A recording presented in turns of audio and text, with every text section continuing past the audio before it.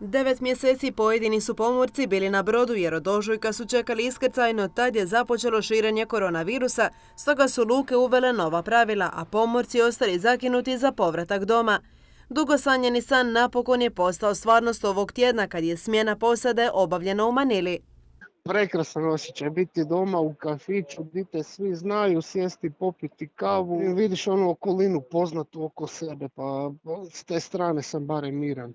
U rješavanje slučaja osim Atlantske plovidbe bili su uključeni nadležno ministarstvo Međunarodna federacija transportnih radnika, čiji je koordinator za Hrvatsku ujedno je predstavnik sindikata pomoraca Hrvatske u Dubrovniku Romano Perić. On je cijelo vrijeme bio u kontaktu s članovima posade. Pa evo ja sam e, izuzetno zadovoljan što se napokon e, ta cijela priča rasprela i što su se pomorci mirno vratili svojim kućama. Oni su mi se javili jučer iz Frankfurta, sletili su u Dubrovačku luku kasno na večer, ovaj, e, sve uredno završilo uz neke manje poteškoće ovoga prilikom same smjene e, kad je dijagnosticirano jednome članu posade dva puta ovaj, korona, da je pozitivan na koronavirus, ali evo i to u nekakvom procesu rješavanja. Vratilo se 14 pomoraca dok je zapovjednik broda ostao na Filipinima zbog zaraze. Iz Atlantske plovidbe očitovali su se priopćenjem. Ističemo u prvom redu zadovoljstvo što su svi pomorci predviđeni za smjenu s broda Zagreb stigli u Hrvatsku. Nadalje, posujući u duhu desetljetne pomorske tradicije, Atlantska plovidba aktivno brine o svim pomorcima, poštujući sve odredbe ugovora i najbolje pomorske prakse. Pandemija COVID-19 prouzročila je probleme u procesu smjena posada, ponajviše zbog zatvorenosti luka diljem svijeta, posebice na dalekom istoku.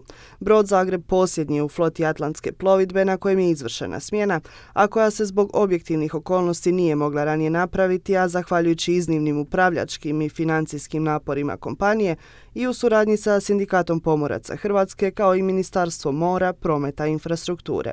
Naglašavamo također kako je Atlantska plovidba za cijelog boravka na brodu poštovala sve odredbe ugovora pomoraca, bez obzira na to jer je ugovor istekao ili nije, kao i nacionalni kolektivni ugovor. Član posade s kojim smo razgovarali je ugovor potpisao još u studenome, trebao je trajati dva mjeseca, produžio ga je na tri, a kad je došlo vrijeme za iskrcaj, to nije bilo moguće ostvariti. Dolaskom na srednji istok je sve počelo biti blokirano bez ikakve mogućnosti iskrcaja i pomoraca i bilo kakvih letova i svega skupa. Život na brodu, kaže Jaklin, bio je težak zbog izolacije na mogućnosti iskrcaja, što je izazvalo nervozu među posadom, no kretanje po brodu se odvijalo normalno. Na pitanje hoće li opet nekad zaploviti povratnik s više mjesečne plovidbe, kaže kako će o svemu još morati dobro razmisliti. Brod meni mora već isto u krvi nakon 16 godina, tako da ne znam. U dojmu, u dojmu ne bi nikad više, najradije bi zapalio sve papire, nikad više na brod, ali nikad u životu ne reci nikad. Ova teška priča konačno je dočekala svoj epilog, no brojni pomorci i dalje se nose s nizom problema.